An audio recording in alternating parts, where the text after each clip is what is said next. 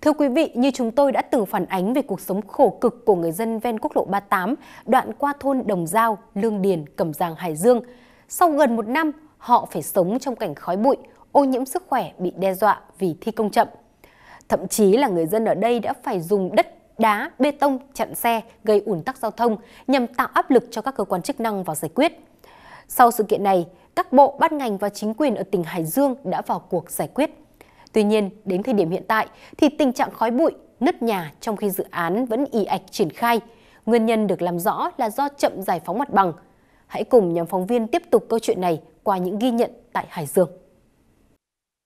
Quốc lộ 38 đoạn chạy qua xã Lương Điền, huyện Cẩm Giàng, Hải Dương sau hơn một tháng kể từ khi người dân đem đất đá, bê tông ra chặn đường vì phải sống trong cảnh ô nhiễm nghiêm trọng.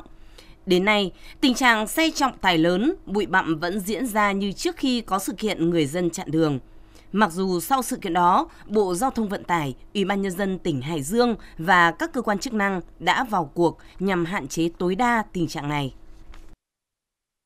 Nói chung cái con đường này thi công là rất bụi và sóc đây ổ gà sóc với tôi vừa phải đây, tự tôi phải ra xúc cái đá cho sóc đêm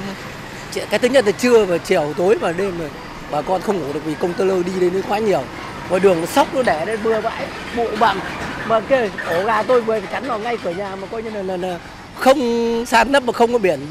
chắn thế này. Trời mưa thì, thì cũng bụi bụi ít nhưng mà trời nắng ấy, gọi là như sa mạc ấy bụi chẳng thấy người nhìn thấy người sân. Tôi tôi tính làm ăn cái đường này từ năm đến bây giờ mấy năm rồi đấy từ năm ngoái năm này chữa đâu mà mới đâu sân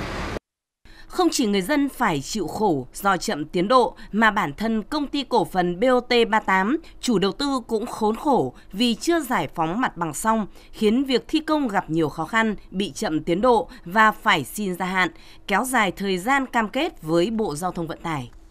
Tiến độ giải phóng mặt bằng mà huyện, hai huyện đã hứa ờ, dự kiến là xong trong 20 tháng 6 là hiện nay đang ờ, phá vỡ và vừa rồi thì cũng có một cuộc họp giữa ủy ban dân tỉnh và bộ giao thông cũng như là các sở ngành và các vụ của của bộ giao thông thì chốt lại ờ,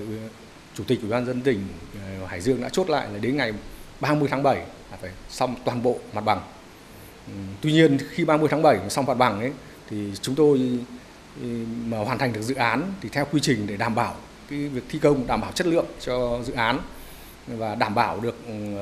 việc an toàn giao thông cũng như là vệ sinh môi trường trong suốt quá trình thi công thì chúng tôi nhanh nhất thì cũng hoàn thành dự án theo cái mốc tiến độ giải phóng bằng như tôi vừa nêu trên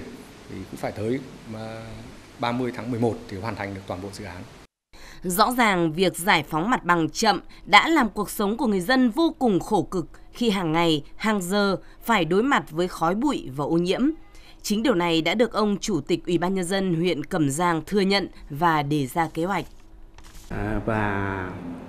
dự kiến là chúng tôi dự kiến khoảng độ từ 20 cho đến 25 tháng 6 thì sẽ sẽ sẽ phê duyệt xong các cái phương án bồi thường giải phóng bằng và có thể bàn giao cái mặt bằng cho đơn vị thi công để đơn vị thi công là tiến hành thi công nốt các cái đoạn đảm bảo cái tiến độ mà Bộ Giao thông đã đã gia hạn. Tuy nhiên, sau gần một tháng kể từ lời hứa của ông Chủ tịch Ủy ban Nhân dân huyện Cẩm Giang, nhóm phóng viên quay trở lại, việc giải phóng mặt bằng vẫn ì ạch và lại là dự kiến đến ngày 30 tháng 7 năm 2016. Thì có thể nói là về khối lượng công việc về giải phóng mặt bằng là chúng tôi đã xong, tức là phương án chúng tôi đã xong. Đấy, chúng tôi đã phê duyệt xong gửi xuống cho nhân dân. Đấy, thì chúng tôi đang chờ là giải quyết một mặt chúng tôi tiếp tục giải quyết các thắc mắc của nhân dân. Một mặt tiếp tục là đề nghị BOT 38 chuyển tiền về để chúng tôi thông báo chuyển tiền à, trả tiền cho nhân dân. Đấy. đồng thời là sẽ bàn giao cái mặt bằng cho cho nhà thầu thi công. Chúng tôi sẽ cố gắng là hoàn tất các cái công việc chậm nhất đến 30 tháng 7 Vướng mắc khiến quốc lộ 38 chậm tiến độ đã được làm rõ, nguyên nhân là do khâu giải phóng mặt bằng. Tuy nhiên, không hiểu do chính quyền huyện Cẩm Giang năng lực yếu, không sát sao với công việc hay vì một lý do tế nhị nào đó đã khiến tiến độ của dự án liên tục phải gia hạn. Trong khi chờ đợi sự quyết liệt của lãnh đạo huyện Cẩm Giang, thì hàng ngày người dân ở đây phải che bạt, sống tạm qua ngày và sống trong nơm nớp vì lo nhà sập.